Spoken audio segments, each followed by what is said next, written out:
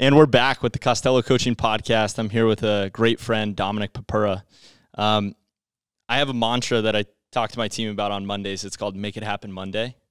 And amazing thing about you is you always make it happen. So six days ago, we're in Miami together, great friends, and we'll we'll run down that through the podcast. But we're in Miami together. We're bouncing ideas off each other and collaborating and having fun and really just present with each other. And Dom goes, hey, we should do a podcast together. And I said, all right, let's do it. And a lot of times I have those conversations with people where they're like, hey, we should do a podcast together. We're having a great conversation in person. But very rarely do you actually do the podcast. So six days later, Dom and I are sitting here recording this. And it's because he made it happen. He he decided to take a two and a half hour drive to the location, dedicate his Saturday to making the podcast happen. But I made it happen because I see what you do and I'm very impressed with I have a lot of respect for what you have going on. Yeah. So like it's it's like I feel like I'm doing this because you've earned it, not because I which, you know, Yeah, it, it goes both ways you, though. yeah. It's uh it's a two way street. And friendships are a two way street and uh life's can be a two way street. So just hats off. I wanted to acknowledge you first before we started because um there's so many people that say that. There really are. And they they support me, they love me, and they have great things to say. But very rarely do people go out and do it. And that small, small difference is the biggest difference. And I think it's why you're at where you are right now, heading into um, close to your 30th birthday. Yeah. So, Dom, um, former left handed pitcher, college pitcher, uh, junior college prospect into Division One All Conference uh, Pitcher of the Year. Never got a chance to play pro ball, but has turned consistently has turned adversity into success. Um, always been an entrepreneur, and I'm so proud to talk about his company that he currently has is. Mela Water, you've probably seen it in grocery stores. Uh, you'll see it in every single 7 Eleven coming up here in the next couple of months, uh, which we've been talking about. And he has taken something that was worth $400,000 three years ago, and latest valuation was 40 million. Uh, next one coming up, I'm expecting to be 100 million. So Yep. numbers, objective data, just to kind of give you a background on what this man has been able to do in such a short period of time. But it's because he makes it happen. It's because he goes the extra mile to make the opportunities happen. And that is something that should really be studied as you listen to him talk today. You're going to hear certain aspects about his life where he had decisions. And rather than thinking that things happened to him, they happened for him. And he's made the most out of his adversity. So without further ado, Dominic Purpura. Ooh, thank you. That's Yeah. a really nice intro. Yeah, Amazing. no, it's uh, straight from the heart. And Thank you for having me. I'm super impressed with everything that you've done for yourself in the last couple of years. It's very impressive at a young age too, because I feel like it's very easy. Like I'm sure you know what imposter syndrome is, Mhm. like feeling like you're not deserving of something because Mm. of maybe your age or like just how fast it happens. And I think it's very impressive what you've done um, at a young age, and I I find that very inspiring. So I hope that uh, you get inspiration from me and I give inspiration from you just as much, you know, because it's super impressive and it's tough, like you said, to execute. That's what nobody does. Like, I think that's so important in business and life is like everyone has ideas and like that's when like people come to me with ideas for years and I used to go to people with ideas and they're like, "Oh, I want to want you to sign an NDA." I'm like, "You want me to sign a fucking NDA?" That that an idea is nothing. Execution is everything. And most of execution is controlling what you can control and actually like doing the work, right? Which is all in your own control and most people just fail fundamentally at step 1, you know? So, yeah, the, Anyway. the I, I love what you touched on first with the imposter syndrome. A lot of young people can feel that, and I felt that mhm. um, very, very early. I felt like, how is I deserving to talk about certain things, Mm. or am I worthy of this, or can I really charge that rate?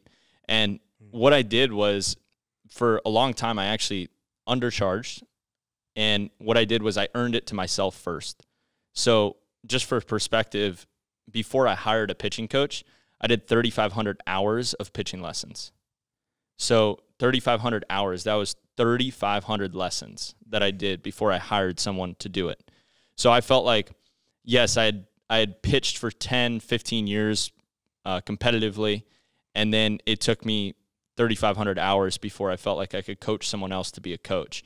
And a lot of times, um, people try to rush through that process, uh, and it shouldn't be determined on years put in. So a lot of times people feel like they've earned it after a certain amount of years. I've been doing this for 10 years. I've been doing this for 20 years. Well, I could sit on my couch for 10 years. It doesn't mean I earned and did anything. It's, it's how many hours have you put in, how many focused hours. Um, so I think when, when I think about you, Dom, you've put in a lot of attempts mm-hmm. at businesses. Mm-hmm. You've tried a lot. Mm-hmm. And it's, I was sharing with Gatlin uh, about this when we were talking about you. Is and my dad, I said, you know, it's no surprise that it's happening for Dom with Mela because he's put himself through the process so many times already. Before there's a Mela, there's a Godify and there's a mm-hmm. Wazoo mm-hmm. and there's all these different business ideas because you've put yourself through the process before. So, what keeps your perspective positive and open minded when you have been through the trenches so many times? Yeah, now I know this is like a sounds like a fugazi or like a stereotypical thing that someone would just say but now like every time adversity or failure i it hits me because i've grown it, it kind of comes with the process of like you fail and then you realize after like oh my god i learned so much from that that's happened so many times throughout my life that now i almost welcome failure like every time i, I get less stressed and less down when i fail now because I understand that like that's a lesson and you have to have those to grow. Like I I remember hearing a quote like if you're not failing, you're not doing enough or just like simple stuff like that. Like if you're not failing, that means you're not trying hard enough to even get somewhere that somebody else isn't willing to go kind of deal, you know? So, um yeah, I failed a lot and I've invested a lot of money and I've touched a lot of stoves which I feel like for me was something I needed to do. I feel like the best thing somebody could do is actually learn from someone else's mistakes, which is even more faster and more powerful and quicker. Is like which comes from a mentor or somebody like that. I was the type of guy where I was like, I need to learn these lessons on my own, even if somebody tells me I should or shouldn't. My heart's telling me that I need to try this, so I would do it. But um, but yeah, I mean, failing is part of succeeding, and it's so stupid to say and because it seems like that's obvious, but it's so true, you know? Yeah. And I think our identity though as ball players is comfortable with failure. Right. Right. We you know, probably just, get that from being an athlete. Yeah, yeah I mean exactly. the classic the classic line of, you know, you fail seven out of ten times, you make it to the Hall of exactly, Fame. Exactly. Yeah. So our, mm-hmm. our identity has been built around the fact that you have to welcome and accept failure mm-hmm. in order to create success. Mm-hmm. And a lot of people are really uncomfortable with that, you know, mm-hmm. allowing themselves to accept failure. Mm-hmm. And it doesn't mean that you're accepting it that you are a failure, but that if you are putting yourself in a tough situation, you will fail. And that's okay. And being okay with that. And, you know, something that all my athletes go through before they start working with me is they go through an exam. But part of the exam is a mental emotional exam. And one of the questions on the mental emotional exam is Would you consider yourself to, or excuse me, it says, Would you do you judge your process or your results? And there's no right or wrong. Um, I just like to see how people think. And some people will take that exam and they'll think about it for a second. And I stand right over them and I say, no, instinct. What's your instinct? What's your instinct on this? And most people, um, well, actually, it's 50 50. And so I, that's the one question that always goes 50 50. Um, the competitive question that's geared toward you know how does your competitive mind work is is pretty uh, it's pretty much the same across the board is everyone answers that a, a certain way. Um, but that one question do you judge your process or your results? That's split down the middle. So it's something i want to ask you do you judge your process or your results? And there's no right or wrong mm, with that. yeah i was thinking about it while you were asking the question. I think it's actually better to probably judge your process. The reason is because when you're going to a certain destination or a certain goal and you and you're talking about judging your process, most of your processes are in your actionable control. And so you should try to remove what you cannot control at all times. Like I literally have it tattooed on my leg, which is like you need to be able to have the wisdom to can control what you can and not worry about what you can't. And like along the process, you can you can control most of the things in a process. Like did you do your workout today? Did you eat healthy? Did you drink water? Did you call those 10 people if it's business or like these these things that are in your control are usually in the process. And if those things if you're sticking to a plan, you shouldn't judge the end result. Um, maybe along the way small, but like those those results most likely will come from constantly reevaluating and being self-aware of what you're doing on a daily basis, which is the process you know? Yeah and and results must be measured. Uh, we must be objective in what we're looking at in order to understand where we've been and where we're going. It's mm. it's a the best way to predict your future is look at your past because mm. we're creatures of habit and we are pattern driven people. We repeat our patterns. So if you want to see where you're going look at your past. So if i look at your past think about this for a second. All right you're a high school kid. I don't know you as a high school kid in the midwest. You take this big leap to go to a junior college all the way out in California. You end up at Orange Coast Community College, wonderful baseball program with a great coach, a great leader. You meet some of your greatest friends at that junior college, and you win a championship mm-hmm. national championship, California championship, junior college championship in baseball. Then you go from there to a pretty much uh, a, a historically strong baseball program, San Diego State uh, you become the captain there. You become the best pitcher there, even though if we tallied up the 15 guys, you don't have the best stuff. But yeah, you, they way better talent. Way better Always talent has been, yeah. But you, are talented in different ways. You know, mm-hmm. areas that you can't really measure. Right.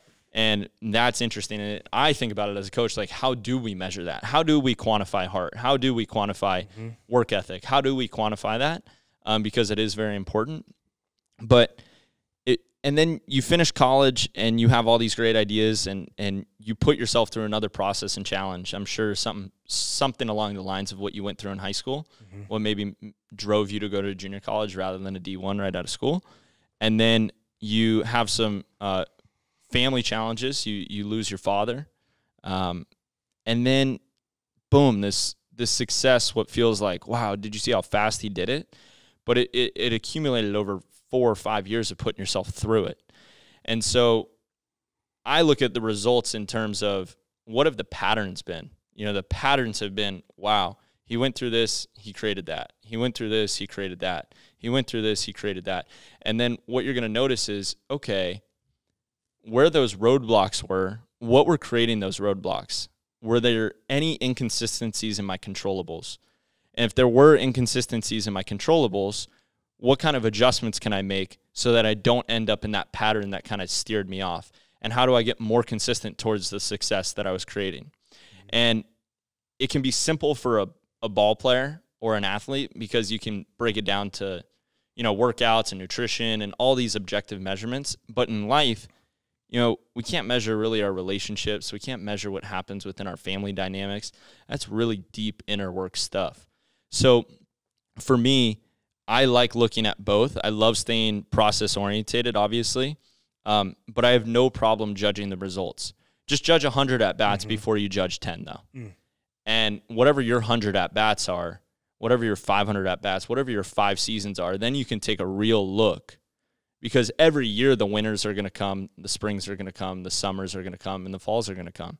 Yeah, well, that's that's a good point you make about like judging the result. Is I guess it's you're right. It is a 50-50 answer because both are correct. Like if you're not judging a result based on like like if you have a result that you're not you're not being self-aware and judging and that result is 10 years away, um it's tough to like you can't go back in time. So you're judging constant so you're saying like you'd rather judge constant smaller results to then make pivots in your controllables exactly. along the way. Right. Yeah. I, be accountable. Be accountable right. to your measurables. Right. Right. Right. And and that's important. A lot of people mm-hmm. lose focus on that, and mm-hmm. and sometimes they don't want to look at the hard facts of these are the numbers, and you have a CPA, you have a financial guy, you have a CFO at your at your company, and it's his job to judge those numbers and say, hey, we're spending this much, we're making this much, this is what we forecast. It's part of it.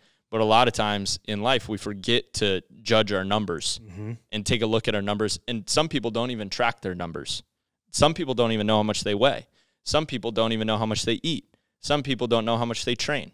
And if you look at the people that do know, it's clean, it's cut, it's organized. And then you're more systematized and you having a chance of creating a pattern of success. And so for me, it's it's creating the process that creates the results.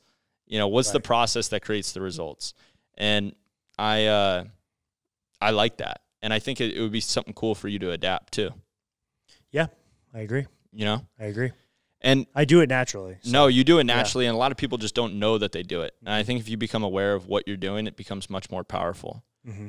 Now, to kind of segue into this this topic, um, Dom is extremely charismatic. Uh, light literally lights up a room every time he goes in, and when you hang out with him, uh, his presence is really strong. Where Thank you feel you. like, you know, he is he is that magnetic energy that every time you go hang out with him or hang out with a group that you're in, it's fun mm-hmm. and it's a fun time. And we had a great time last weekend hanging out together. Yeah. But I think one of the challenges for someone like you is maintaining your personality in a leadership role.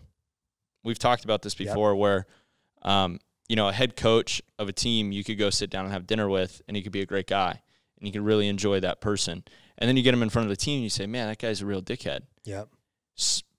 I don't know what you're like with your yeah. team at Mela. I'd only assume yeah. that you maintain your personality because I've been with you in so many different situations, and you're always the same guy. Yeah, I um, you have to have you have to. It's not even a question of doubt. Uh, one word is an alter ego. Is compartmentalization of of your uh, your emotions, your um, you know how you carry yourself depending on the situation right? And and that could be done through actions. It could be done through your words. It can be done through how you carry yourself like your clothing could be a lot of different ways.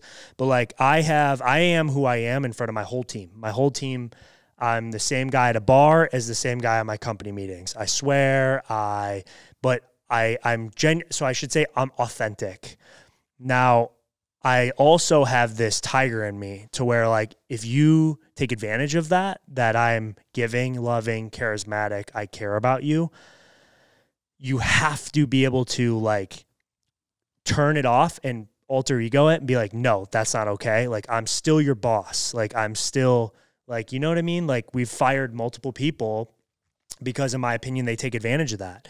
And I hate to say this, but you only need if if there's if you have a company of 15 people, you need to do that one time in front of everybody, which that that person, whoever we've letting go, uh, um, we've letting a few people go. Some deserve it, some just didn't work out from company perspective. But then they see, oh my god, okay, like he's not always just fun. Like I still have to do my job, you know, because that's why some coaches are assholes because they may be good guys and they may be like fun people, but they know that their players.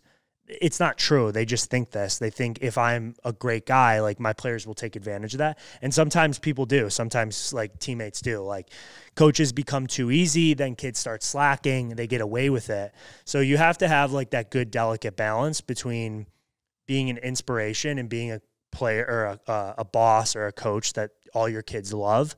But then when it's time to get to work, answer the bell. Like you know what I mean? Like you got to answer the bell. And and I think that mostly comes from leading by example as a leader. Like in my opinion, leaders eat last. Like I am the least, I'm the lowest paid employee in my company right now. We have about 15 employees. I will always be the lowest paid employee in my company. Like, yeah, I have the most equity, but I earn, I, I earned that equity. I took the risk. I made the initial investment. I made everything happen. And I will still, at the end of the day, want to be the lowest paid employee in my company because in my opinion why would i have money in my bank account like i want to take care of my family first and then i'll eat at the end so like i think leaders should eat last and i think leaders need to lead by example like every team they think they have like leaders fundamentally their foundation of being a leader is like they have to at the end of the day do what they're saying that they're telling people to do. Like if you consider yourself a team captain and you're slacking on your like sprints, if you're that guy who's dogging it, like why would anybody look up to you? And if they are, guess what? You're you have that's like a cancerous leadership environment on a team. Like we semi had that when I was in college at San Diego State my first year. Like leadership was not the hardest worker working people, so that everybody follows suit. Like you are who you are, uh, uh, like a resemblance of as a leader, you know. And then you know, so it snowballs from there. But like I think those two things are most important, like to be a leader is like you eat last and you lead by example, you know? Yeah, and your your self discipline is the is the number one precursor to you being a leader. Mm-hmm. Because if you if you lack self discipline, uh, no one will follow. Yeah. And that's that's kind of what you're touching on is is your self discipline is overflowing into the into the company, Mm-hmm. but then it's really interesting when you look at people that take advantage of you. Do you ever think, you know, why is that person doing that? Yeah. Um, Like, do you ever think what what what did I do with that specific person where they felt like they could treat me that way? I have a I have a consistent saying: you train people how to treat you, and when I work with athletes, whether it's in the gym or on the field or mentally emotionally, there's a culture of comfort, mm-hmm. but there's an understanding of work, and it's a fine line. You don't want to be the drill sergeant because that's not where lasting relationships are built because you just have one place in their life. Mhm. And I think people like us that have open hearts and really want to touch lives want to be a part of people's lives more than their boss or more than their trainer or more than their coach. You want to have a lasting impact on them. And so that's why you give them that comfort. But then where's that fine line between comfort, too hard, too shrewd, leader, friend, boss, taken advantage of. Yeah. And so that's that's something that's going to be always looked at and wondering how do I how do I balance that? Um, but I really think about I train people how to treat me. And if you really train people how to treat you, you'll have a better understanding on how to treat others and then what what is reciprocated from that. Yeah, I think the older, I think there's a lot of things to break down in your question and and what you're unfolding. I think the first thing is is unfortunately you either got it or you don't in terms of like you're either greedy and you're like an asshole and you're like out for yourself or you don't and that probably starts to be honest in the household from your parents, how you're raised, what they teach you, what your values are. And so as you get older, the older you get, the more you realize like I can't change that person. So it's more about if you get entangled with them, don't waste your energy on it. Just go, okay, that's who they are. I'm going to remember that. And then vice versa, the guys who have invested in Mela, who never ask for a fucking thing, don't care, don't care about the paperwork, don't say, oh, what's this date? I want this, I want this. They go, Dom, I believe in you. I'm going to send you $25,000. I don't care. You're going to make it happen. I trust you. I love you. Those people are all in my fucking brain. And then we have other people that are just like, not necessarily investors, but it could be anything. Could be shit. You you know it the, down the list, right? People I deal with all, all the time. Um, you kind of remember that too, and you you make pivots based on yourself. Like, okay, well, I'm 29 years old. When I'm 35, I want to remember what that that person did, and I don't want to treat someone else like that. But unfortunately, I think that's just the way the world is. Like, you can't exert all your energy trying to fix everybody else. It's just like it's kind of like dating, you know. It's like if you meet a girl and um, there's the older you get, the more you realize you have to meet somebody who matches you naturally. You can't force somebody to try to teach them to match you, kind of. You know, like you have to find something that's effortless in a match, right? Or or an energy, or like you either get it or you don't. Yeah, and I think that's kind of hard for Mhm. myself um, personally. Is like not forcing something to happen. And if I look at my own patterns, I try to force things to happen all the Mhm. time, Yeah. and I get impatient. Well, I think it's good to try. So I think it's actually good to initiate and always, whether it's business, like whatever, you should always try to quote unquote force or like take the initial action. But if that energy or whatever isn't, Isn't reciprocated, Yeah. then you stop. Like, you know what I mean? Like it's always good because you want to be the lion, but like you don't want to you don't want to go too far. Like show somebody you're a good person. If they take advantage of you at that moment, you know that you're like well, fuck them, and you never help them again, or like you never you've seen their true colors. You know what I mean? So those are It's amazing. Mm-hmm. Now, where where did you where did you learn this from? If you could accredit, you know, certain leaders in your life, certain figures in your life, where do you think all of these ideas were were molded from? Because we we acquire these belief patterns. yeah, You know, as much as we want to believe we create them, uh, the majority of the time they're learned behaviors. So, if you could kind of label who those people are in your life that have formed you to be yeah. the dom that you are Yeah, Who I would think- those people be? So it's funny. My mom, you you, you will get what you like and you don't like for your mom and dad. You know, you take pros and cons from both, or whoever it is, the male figures, female figures in your life. My mom, her best quality is she is the most giving human being on planet. She is constantly focused on everybody else besides herself, and that is an amazing quality. And I take those attributes. Are we good? We're okay. Um, that's an amazing quality about her.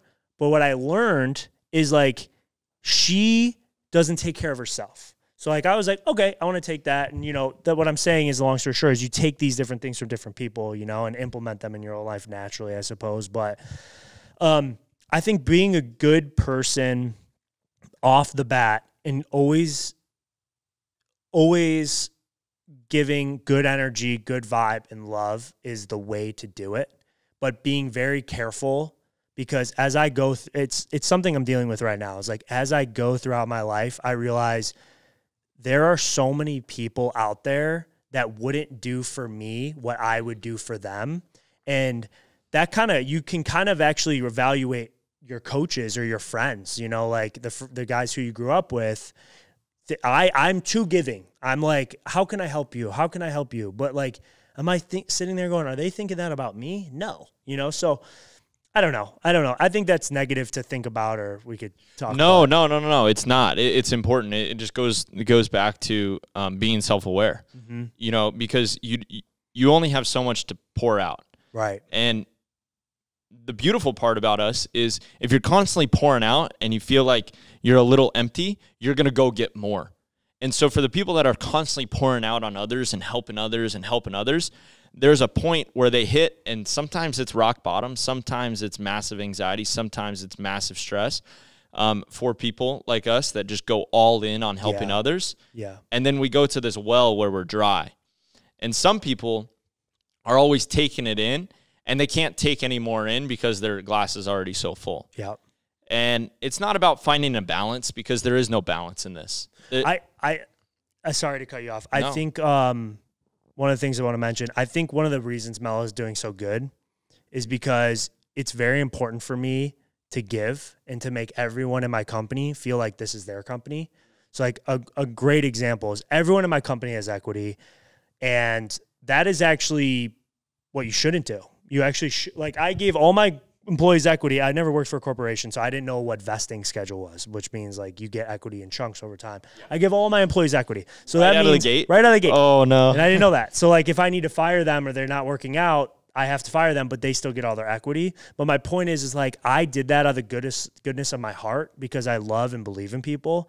And yeah, there are people that take advantage of that, you know? And so it's like they say there's that quote that says I mean it's kind of political but not really is like if you're if you're not a liberal when you're young you have no heart if you're not a conservative when you're old you have no head because it's like you want to love everyone and treat everyone it, it's like but the older you get the more real you more you realize how if people see you're having success, they want to take advantage of that. They want their piece. They want their uh, credit for how you got there, right? So I think it's part of age, but I mean, how it relates to maybe your audience, I'm not sure, but it's I don't know.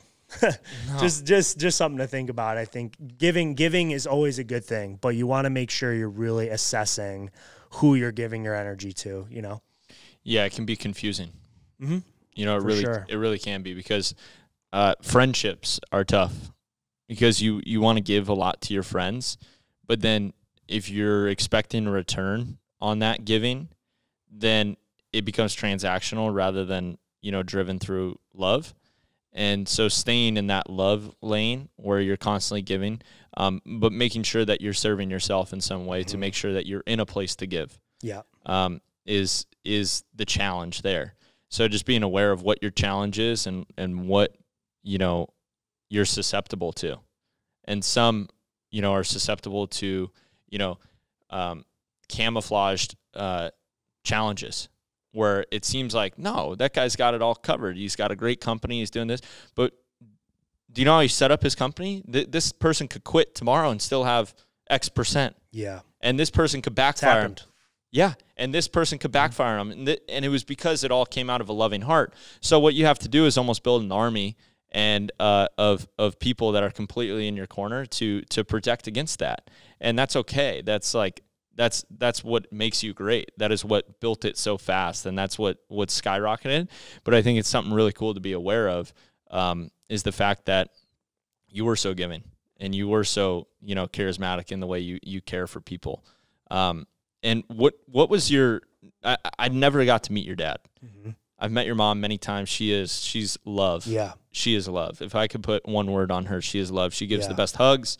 She is always DMing me on Instagram. Hey, that looks yeah. great. Great job. Great job. It's so much yeah. love. Like there is so much love from mm-hmm. her. Um, and I totally see that when I see that in you from her. But I, I'm, you know, your dad is this amazing, like, uh, almost fictional character in my mind. Yeah. That, you know, where did this, where did this dude come from? Like he's, uh, he's an only child from the Midwest that makes it out to California and he's a creator. He, you're constantly creating. What what was your dad like? It, was he, he a was creator, like entrepreneur? yeah, he was an entrepreneur. So both male figures in my life are entrepreneurs. My dad and my uncle, who's like my godfather.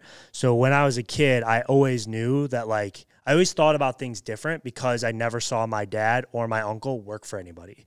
The two men in my life I'd never seen take orders from another man. And so like I would constantly question normism and growing up in Chicago, everyone does the same shit.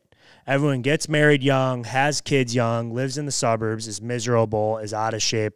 I'm generalizing, but you know that that stereotype kind of rings true. And and I was always thinking differently because I saw two men in my life think differently. And then I even remember like let's just say it's 250,000. I remember asking my mom this. I was probably 15 or 14, somewhere very young, starting to figure out the world.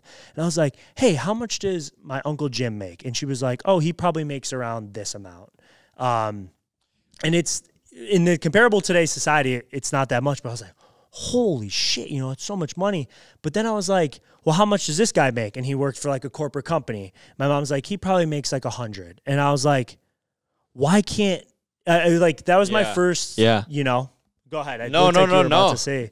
No, yeah. I just I had never like uh, had a concept around money and how much because it was so private in my house. Right. Like Us I still too. have Us zero too. clue like how much my dad has made. Mm-hmm. Um, Us too. I knew that he was always the one kind of funding everything. Us too. Uh, group trips, you know, this that, uh, whatever fee for the baseball teams. I know he was always supporting it, and we would always have the team party and the nice house, and everyone would always come to us. But I had no understanding of what that number was, and I think it was interesting that he raised me that way, where where the number.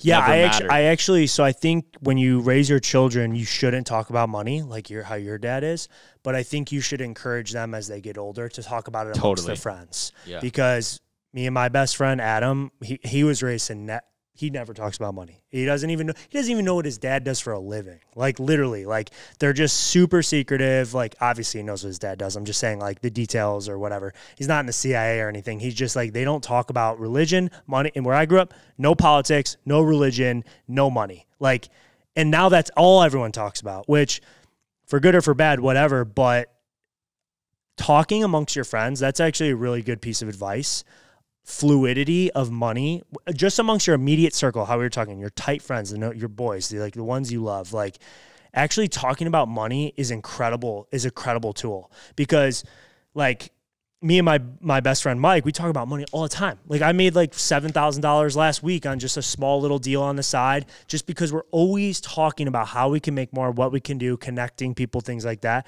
So it's like kind of like law of attraction. We're always like abundantly talking about you money. invite it into your life. You're inviting it, and a lot of people don't talk about it at all, which I understand. Uh, that's kind of like the old school conservative way, for sure. You know, and I I think I think though if you talk about it, that's the only way you learn about it.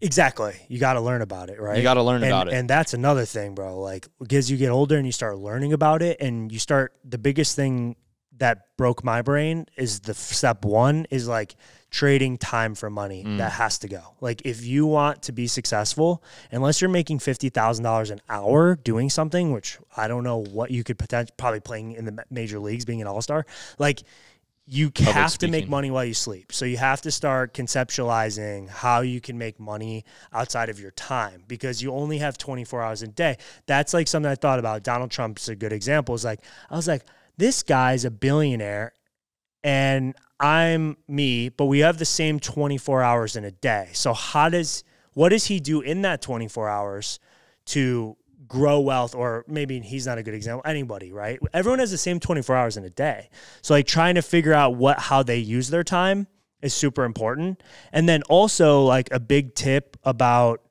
success is like Ed Mylett said this at a conference and it changed my fucking life. Like just this little analogy. When you go to school your whole life, they teach you don't cheat. Like cheating on your neighbor's test is bad, which it is. Like you don't want to cheat when you're in school. I totally agree. But in success in business and life, cheating because you go to the school system your whole life, cheating is kind of like a bad thing duplicating exactly what someone who's more successful than you do is the exact surefire way of how you can become successful. Like if you find a guy who's exactly where you want to be Let's even say he's 10 years ahead. You want to talk about the process? Rinse Figure out it. every fucking thing he does in his day and how he thinks about problems and money. And if you can be around that and like ask him or literally duplicate it, it's literally just a, mat- a matter of time before you get to that level, if not faster, because it took him a long time to learn that system. But yeah, Ed Mylett said he's like, if you want to become successful, find out who someone successful is and just copy them, you know? And like, it's it, I don't know why it just clicked with me. I was like, that's so true. Like, so was your was the coconut water Jesse Itzler kind of a motivation for Mela? No, I uh I didn't. No, not really. Um, when I was getting the beverage game, it was so I I self analyzed why I like beverage. Like we were talking about in Miami, like some people say do what you love, and I do agree with that. I also think do what you're really good at because then you will love it if you're good at it. Um, so whether it's selling concrete, but like you're just good at that, you'll eventually fall in love if you're really good at what you do. And then you can kind of, so beverage and CPG has a couple fundamental things that I love. Reoccurring revenue, I think, is really great. So, you know, you get Mela in one store, as long as it sells, you're making money on that every day. So then let, let's say you, let's say you sell one can per day per store. And let's say we make $1 per can. So we basically make a dollar per store. I'm thinking about the math. I'm like, okay, well, if I get in 100 stores, that'll take me two weeks. Now I'm making $100 a day. And then on and on and on and on. And then as you build that, it's like this snowball effect of reoccurring revenue. I loved that. I love. Is it that simple? Yeah, it's that simple. And then figuring out, you know, you go in more depth of what stores sell best. So like you you put, let's say you start a brand and you put it in 10 convenience stores, 10 grocery stores, 10 coffee shops, whatever different channels, fitness, gyms like this. Figure out what of those channels, if anything, is actually a, a data wise selling more than others. Then you kind of lean more into that. And then you literally could just go store by store by store by store by store to get your first, you know, you could get a first thousand accounts on your foot. And then once you do that, then you get a distributor. And then the distributors have sales reps then you can incentivize them $15 for every store they get. Now you got 50 sales reps, you know, it just snowball effect, you know, and then making pivots based on where your product sells best is like that's how essentially I got into this game and Mel is blowing my expectation out of the water. But you know, like you saying, you you you focus on you reverse in my opinion another piece of advice would be reverse engineer your big goal down to the day you know and that takes an hour, two hours of just planning. Like, I'll tell you, I'll just give everybody. We we should clip this. Like my um my goal is I was like, okay, I want to make I want to I want to retire with forty million dollars in my bank account. Okay, screw taxes. Let's take taxes out of the equation. Let's say it didn't exist, but just as, as a simple exercise, I want to make forty million dollars. Okay, well, if I have a business that is going to sell at a 4x multiple. That means I got to get a business to 10 million in revenue. Okay, how much is that a month? 10 million, 10 million in revenue. I think it's like $800,000 a month, something like that, right? $800,000 a month, then you break it down to the day or the week, the day, etc. And then you build out a plan of ramping to get there over 3 years.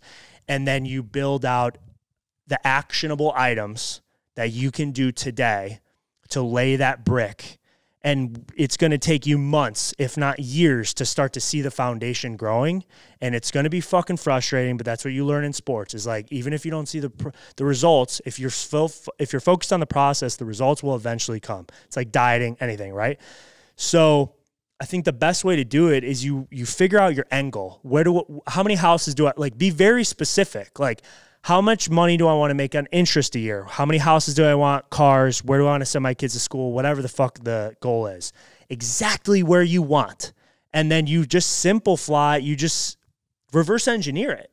And then like Mela is doing better than I had projected. Like now it's getting to the point where I, I need to maybe once every quarter revert to my goals and make small pivots. But I basically know it's secondhand nature what I need to do for Mela every day to move closer to that goal. And now we've, I mean, it's crazy. Like I have, I don't have 100% equity in Mela anymore, but if we sold tomorrow, we could probably sell for $40 million. So getting there is all attainable. It's just, reverse engineering, I think is the most powerful tool when you want to get down to what actionable items you can do every day, you know? What brought you to the 40 million? Um, I just looked at like, okay, I want, you know, want to pay my mom's house. I just did like bullshit math with millions. Like, okay, I want to spend a million on my mom's house. I want to have a $2 million, $3 million house in California, condo in Miami, couple cars, couple million for spending. I want to have 20. I, I calculated, I'm like, okay, I want like $150,000 a month on interest. So I need to get that, you know, 25 million in the bank. So I just, just like some, and it's all fugazi. And yeah, you want to dream big, you want to shoot big. But I just It's came up with my ideal life. Yeah, it's not. It's, It's really not. not, because not. because which we should talk about this too. Um, crypto. I mean, when you so there's two things to note. Okay, one thing that should scare the shit out of you is when you get to that goal. Let's say it's 10 million. You're like, I want 10 million dollars. Do you know how much fucking money you have to make to save 10 million dollars? Okay, so taxes are going to take 30%. Your cost of living is going to go up. You're going to get the Range Rover. You're going to get the nice house. You're going to get the girlfriend. You're going to do the dinners. So my point is like $250,000. If you make 250 grand a year, do you know how long it would take you to make $10 million? It's like insane. It's like I don't even think you ever could do it. So my point is is you have to constantly assess the vehicles that you're putting your cash in on the side to grow while you're sleeping, right? Which crypto I think is a great way. Stocks, bonds. I don't know as much about stocks. I love crypto, but crypto was the first eye-opening experience of my life to where I'm like, okay, somebody I made uh what was it, seven figures in crypto and it was the first time in my life I'm like somebody who's making 200 because at the time I was making 70 grand a year working for somebody else but I made what would have taken somebody who made two- 250,000 10 years. I made that. It would have taken somebody who's making 250 grand about 10 years in savings to make what I made in 1 year in multiplication of money. So, multiplying wealth is something that on the side when you're sleeping you're at night you stick to your game plan you stick to your what you can control but constantly be spending that extra time whether it's youtube videos listening to people try to sift people out that are bullshit. But like studying you know if i have 10 grand but i have an asset that could appreciate over 3x 4x you know what i mean? Those type of things right? Yeah. I think what you're talking about is studying your market. Studying the market yeah. And not the typical market of, you know, stocks and this and that. I, I think it's important if you want to have success in any marketplace, you study your market. mm-hmm. yeah So to simplify this, Yeah. in the world that I live in with mentoring uh, high school and college and professional baseball players, I let high school players know that you're entering a marketplace. And they say, "What's a marketplace?" Mm, It's a like that. marketplace where goods are exchanged. So like that what happens in a marketplace in college baseball is there's money made there and there's money spent. So if you want a scholarship, that's $200,000. Now, how much value do you need to bring to that Mm, marketplace to be worth $200,000? Yep, yep. And then it makes it very clear. Oh, well, someone who receives $200,000 typically has these metrics. They run this fast, they throw this hard, they hit this well. They, this is what kind of leader they are they are on their team. This is how they carry themselves. And then you just break it down so simply. Well, now you get into more of a complicated world, a crypto world or a business world that doesn't seem so cut and dry. You dumb it down. And and the smartest people in the world can make complex ideas sound simple. That's the true essence of someone that's a genius. Mm-hmm. Take the most complex idea and make like it sound that. simple. And for you, when you're talking about crypto and you're explaining your success in a complicated game, what you did was you went through a process and you understood the marketplace and you understood that, oh, wait, the people that have a lot of money, what do they do with their money? Oh, they do this and yeah, they can made do it that. more simple. Exactly. I've always been good at macro things. Like I'm actually made a hundred grand when I was in high school, um, off four to five thousand dollars and uh, stocks, and I was doing it in a in a class because I was thinking macro. Like I was like, okay, this was in 2011. People started smoking weed. Obama. I lived in Chicago. I knew Obama was going to get reelected. Uh, he's a Democrat, and I was like, okay, Democrats are going to uh, finally legalize weed. So I put four thousand dollars in a crypto stock and went. My point is, is like so many people, especially when they're really intelligent, they overcomplicate things so much to where like really it all comes down to simplicity. And I yeah, I liked what you said with um yeah, true- with that, you know, I love that. Yeah. yeah. A true genius can make complex sound simple. Yeah, and and um, one thing too that I I would love to give everyone a heads up, like from the athlete world, is like if you're transitioning a business, the hardest thing that you're gonna face is when you when you're an athlete. All the things we just talked about in this podcast, like you're putting in all the work, right? You're gonna get a result, and that result is gonna be published in a number. Mm. Okay, you put in the Tommy Costello let's say the diet, workout, whatever, you're going to see your batting average go from 230 to 280. And you're Mhm. going to know what you're doing is working. When you get to the real world, that shit doesn't exist. When you're a pitcher in college, you have a win loss record. In the real world, you don't get that. So it, it's very difficult to articulate if you're what you're doing is successful, besides like the money in your bank. But like we talked about, sometimes that comes, you could be working your ass off for 10 years and never have that dollar sign in front of your bank account. I still don't have it. Like in net worth, I am, but I don't have that money in my bank account. So that's one thing mentally to prepare for to get ahead of the curve is like, how am I going to, you have to create, my point is, is you have to create those wins and losses for yourself mm. because San Diego State Baseball.com isn't showing Don Purpura's win loss record, which is attributing to what he's doing when no one's paying attention. In the real world, you got to be working when no one's paying attention, and nobody's going to know your results for decades potentially.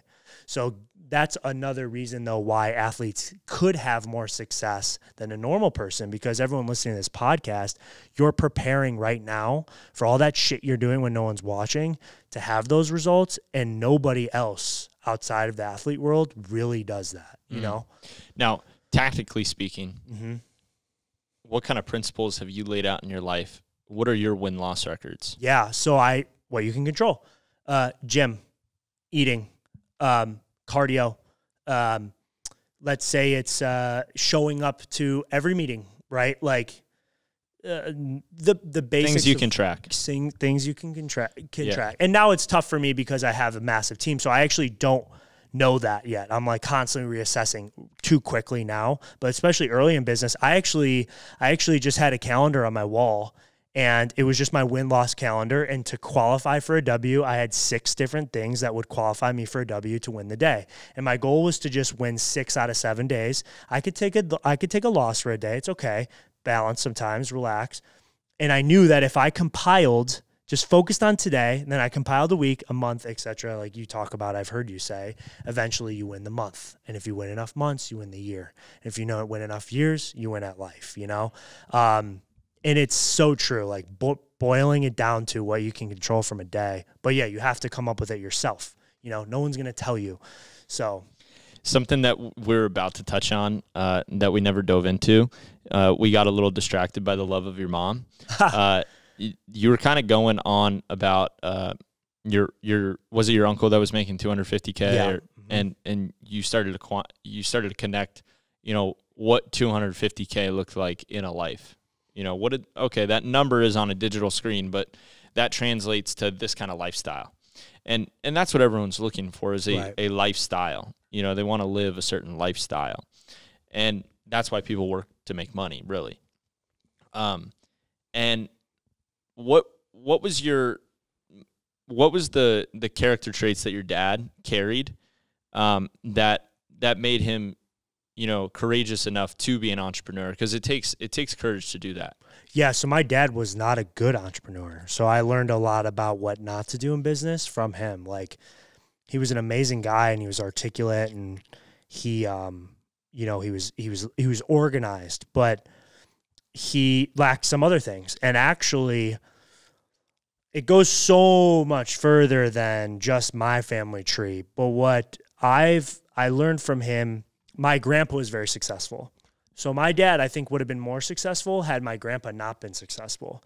My point is is usually stereotypically and it's kind of true if you are born into wealth or you're born into a comfortable situation, you don't have that fight or flight mentality.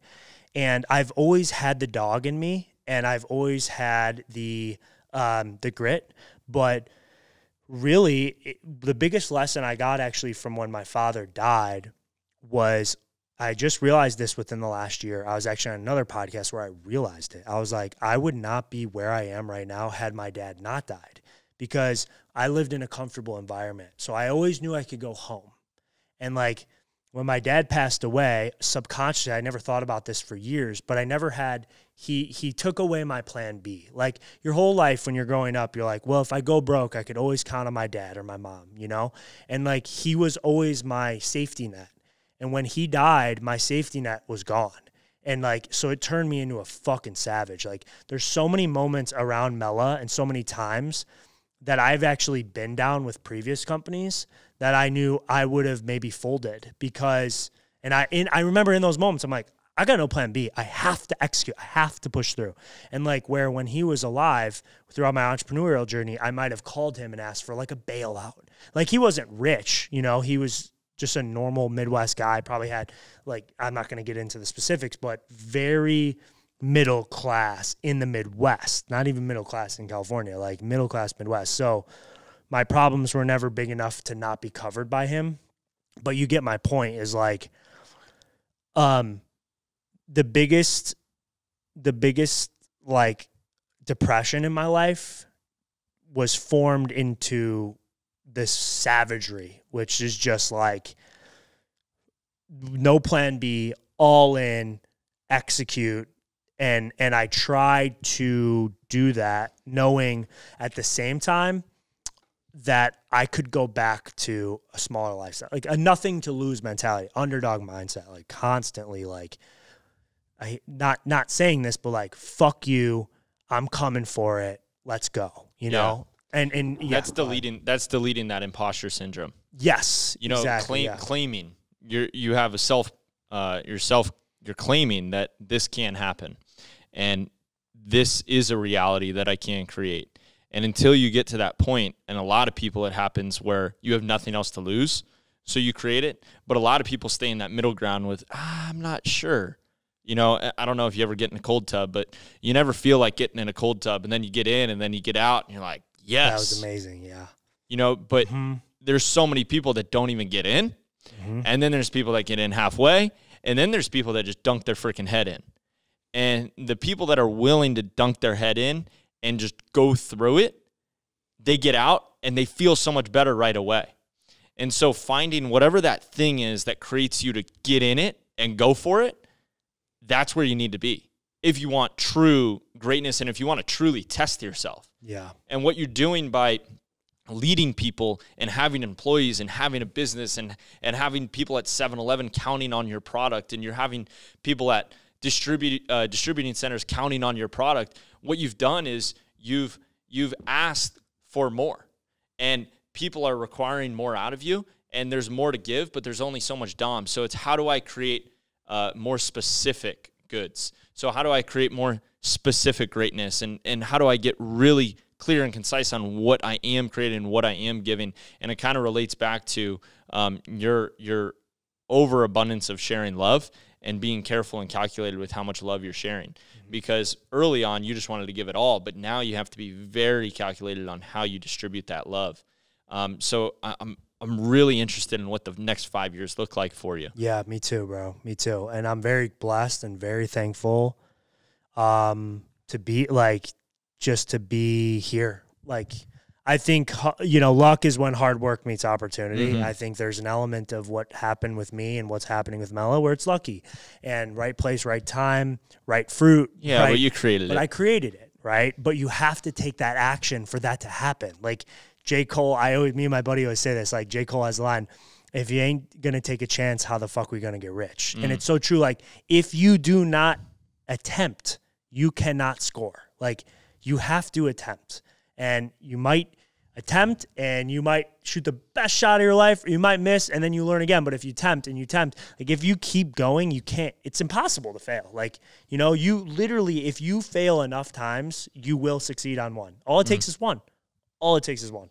You know, some people do that, don't learn that till they're 40, but, Yeah. you know, I think that's the that's one of the greatest things that I'm doing that sometimes I don't give myself credit for is the attempt at creating something.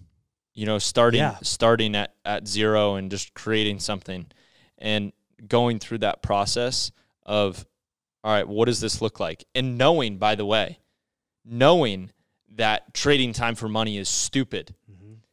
and accepting that because I wanted to do something that I loved. Mm-hmm. And I wanted to learn how to create a business out of that. And I knew that, you know, the ultra wealthy are just a little bit more creative. exactly. Yeah. And because everyone has relatively at, at, at the one percenters and the five percenters of the world, relatively the same skills. You know, if you get to the top five percent, which I already am at, um, in terms of income, Yep. uh, you uh, you have pretty much the same skills. It's the going into the 0.01 percent. You're just that much more creative. Well, I think you said when we were talking in Miami, you you have you're self aware of like your current situation is not your end goal, and you're you're constantly being creative of how can I scale my time and get you know like with your app, and you guys have all this great stuff going on with your app, and you're starting to grow subscribers, and no one's really thinking about that. But like, what else could you do? Could you have uh, could you charge uh, a thousand players, college and high school kids, uh, 10 dollars a month, and then one day a month, Aaron Judge is joins your app and is goes live for an hour, and people can ask him questions. And they have to pay money to ask those questions, like on a live feed. But just to be able to listen in on what his advice is, is ten dollars a month, and you have one. uh, Like, there's so many different ways that like, Double no- your income. Yeah, it's just yeah, exactly, or just being an entrepreneur, thinking outside the box. Yep.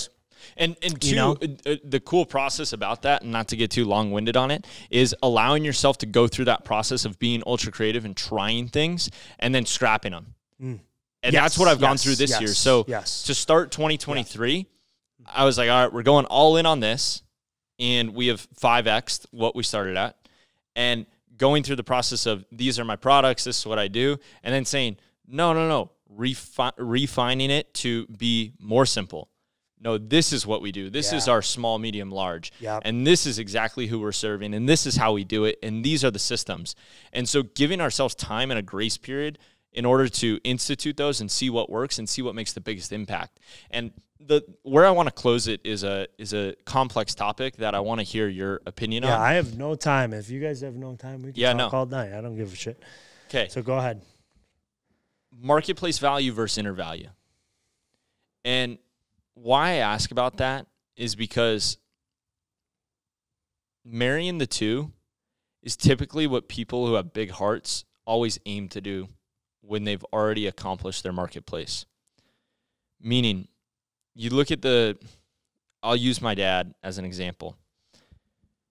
His inner values didn't really align with insurance, but his inner values drove him to create one of the best insurance companies, Mhm. To sell this insurance company, to mm-hmm. accumulate a lot, whatever Yep. that number is. And then, you know, he's 56, 57, 58. He's going through this process of, all right, how do I share my inner values with others?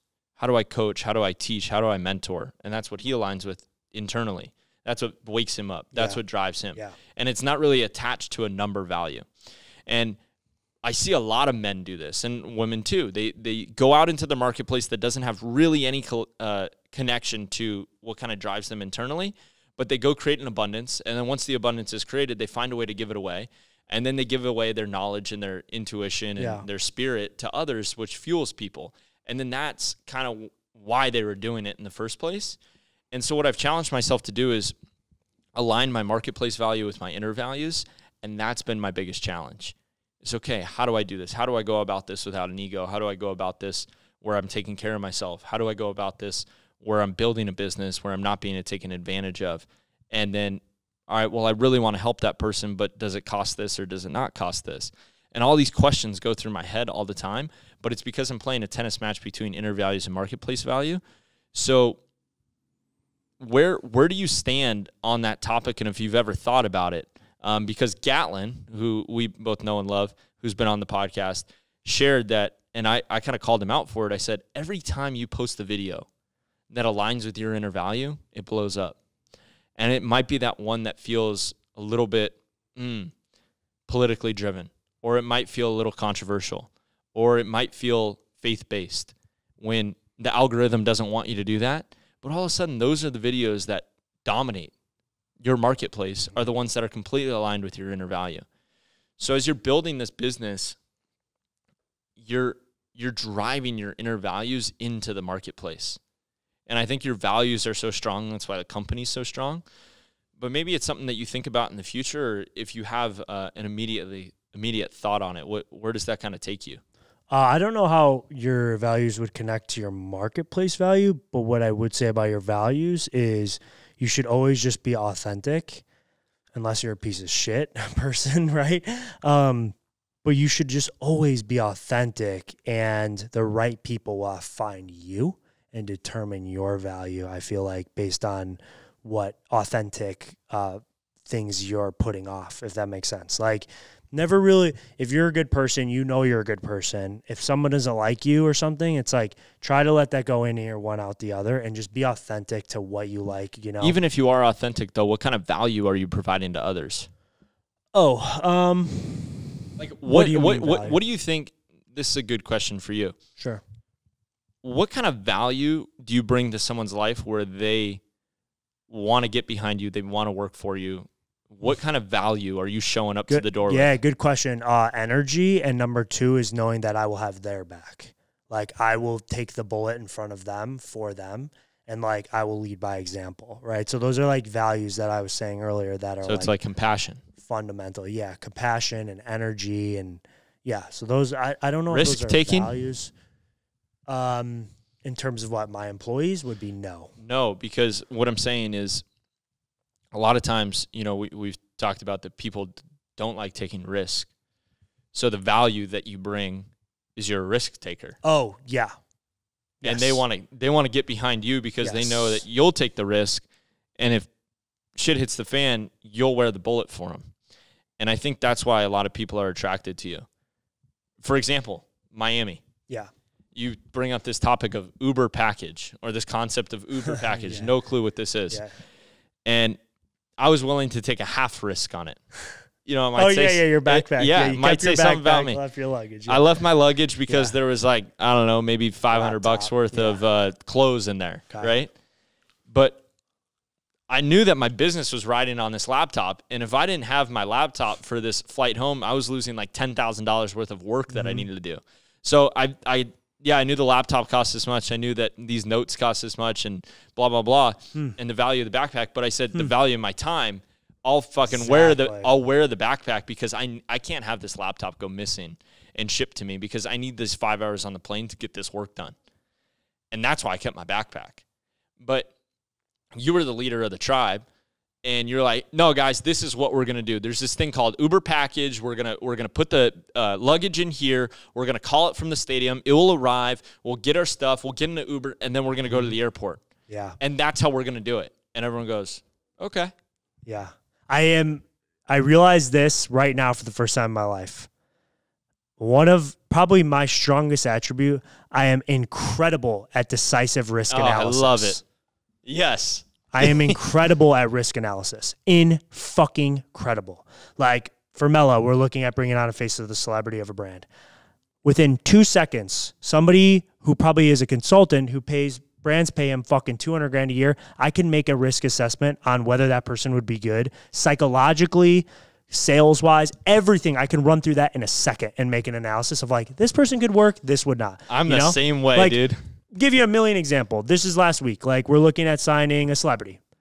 Um, Becky G, the Latin singer, or Bad Bunny.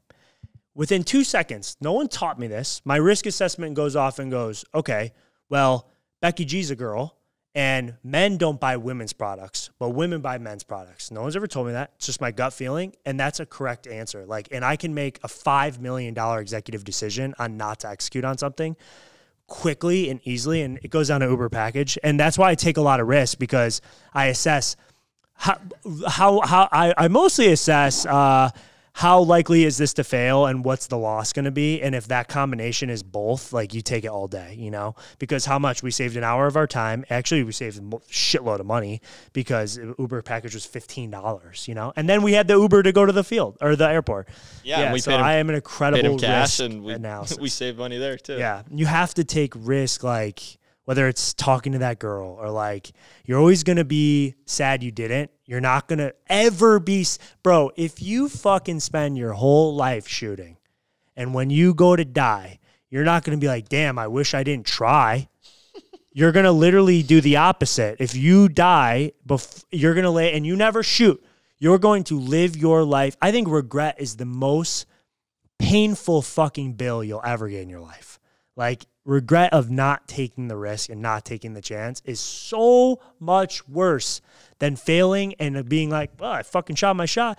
Like girls is an easy example. How many times you see a girl that you want to talk to, and if you don't go up to her, you're like, damn, like what if? But if you go up to her and she's got a boyfriend, it's like you don't even remember she exists 10 minutes from now because you're like, I shot my shot, I tried, it's all good, like no problem, there's more. You know what I mean? Yeah. You'll always regret not trying. Yeah. And where do you feel on calculated risk?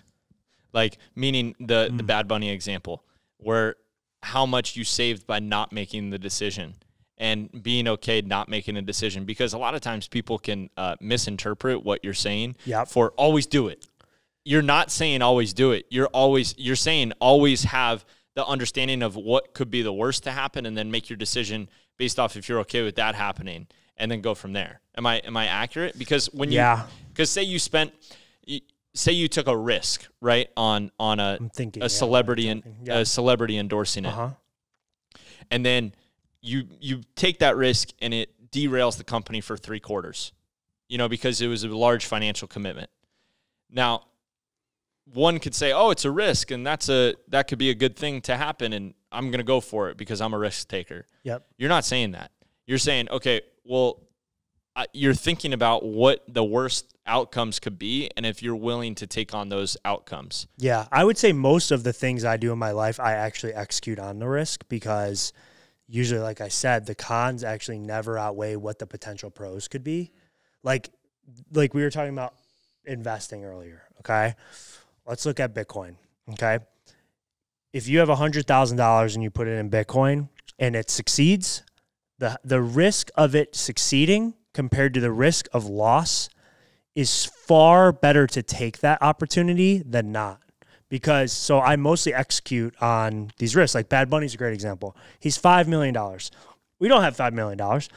But I know that if he wanted five million and he said yes, I will go make I will go find and create five million dollars out of thin air to make that deal happen because that would double the overall value of that would triple the overall value of the company overnight.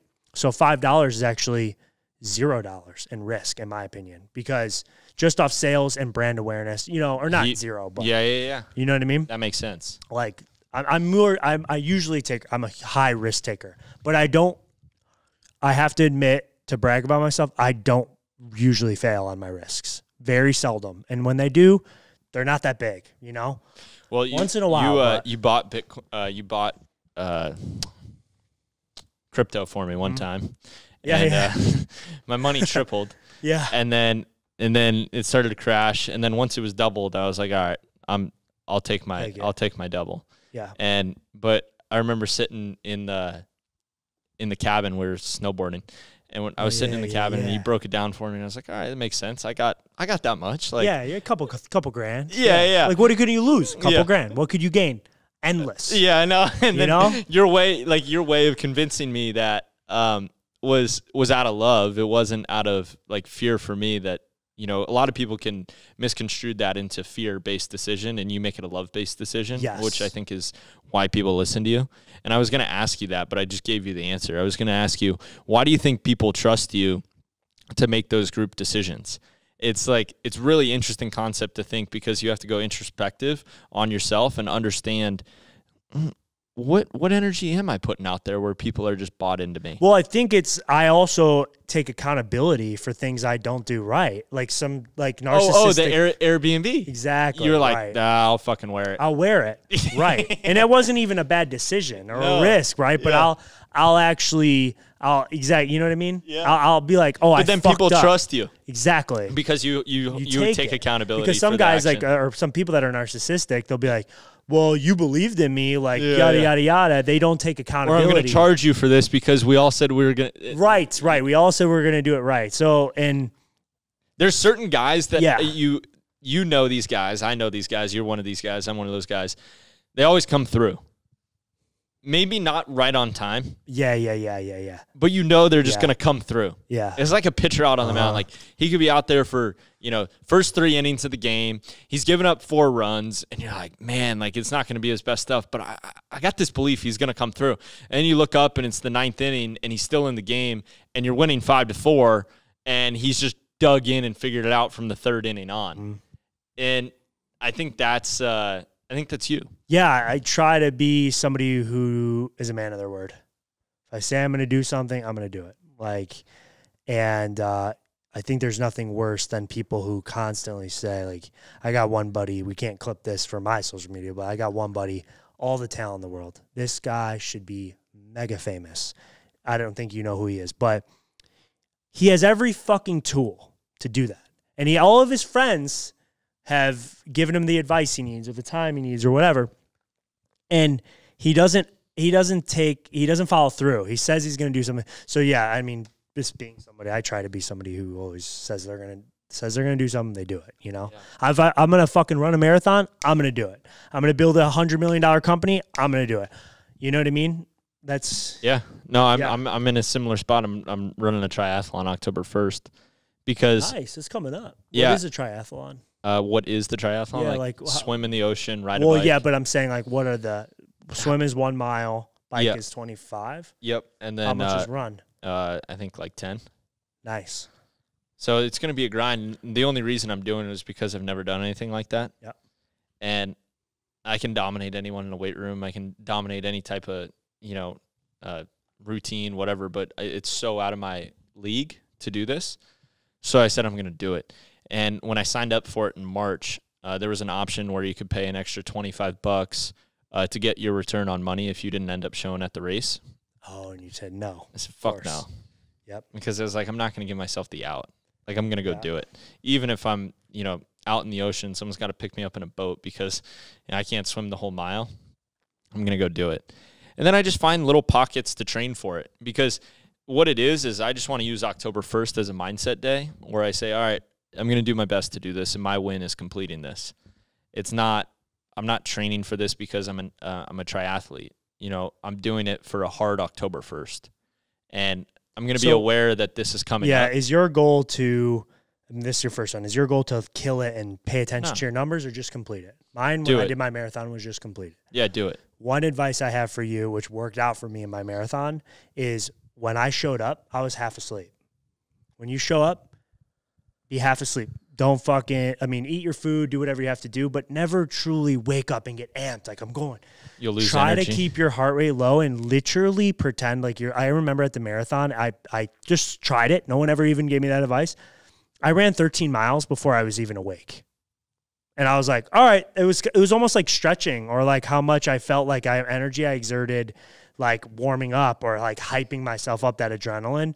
That just at 13 miles, I then started. It was like, you know, That's like good advice. if you're Let in the, swim water, wake me obviously up. it's cold. Yeah. What But- what, is, what comes first, second, third? What is it? It's a swim, bike, run.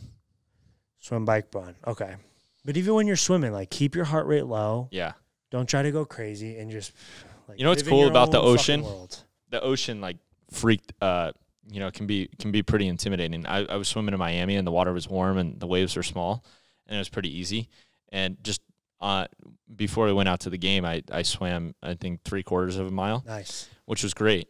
And but you go into the ocean in, in Malibu and, and the water's cold, the waves are big, Yeah, that's true. and it's a good it's a good challenge. I put the goggles on one morning. I, I wanted to go out for a swim and see what it felt like, and, and it was dark, and the water was dark and the waves are hitting me and there was no lifeguard and you start having conversations Not with yourself and I was like, damn, this is this is a really good place to learn a lot about Mhm. yourself and going for runs and starting to, you know, talk to yourself on runs and it's a really good place to get your get yourself because Have you ever run before in a marathon? No.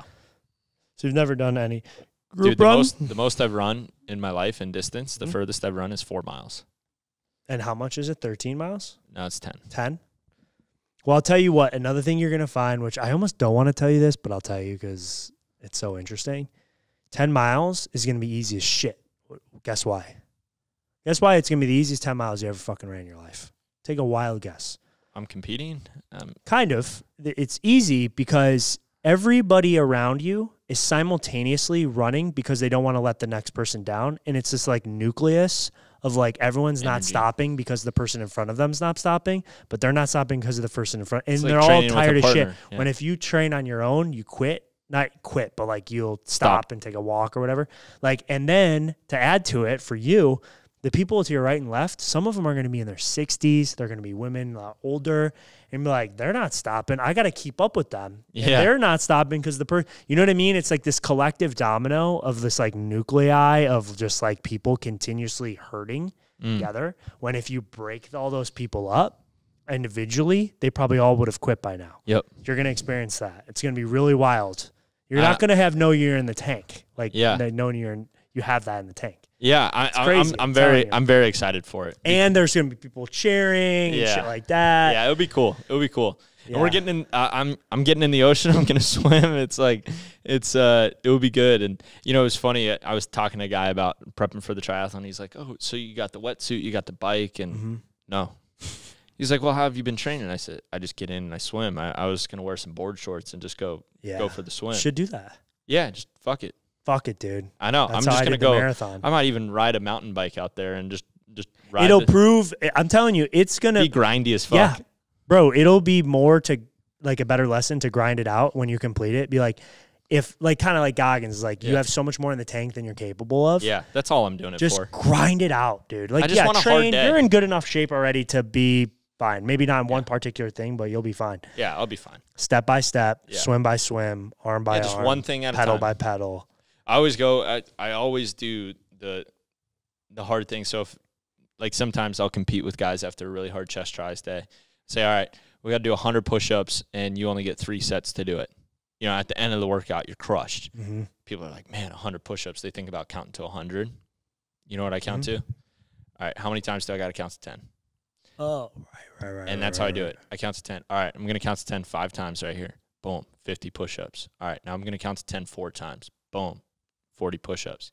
You're going to count to 10 once. Boom, 100 push ups. So you mean to tell me when there's an end goal and you compartmentalize it down into a single smaller, more accomplishable goal, It Simplifies the game. that eventually you get the big goal? Yep. Wouldn't you Yeah. know it? Yeah. That was great. That Yeah. is uh that's about all my mind can handle right now. Me too. Um it was really special. Dom, thank you for doing this. Thank you for having me. Um, Thank you. Don't think it's going to be the last time that we do this. And there's so much value um, inside you that you don't even know you have uh, to provide to others, um, just with your mind and, and the life that you live. So continue to pour more out on others, even when you feel depleted, and make sure you get the time to go fill up that water. And go fill up that glass to continue to pour out more because your abundance that's coming to you is because of how much you've poured out.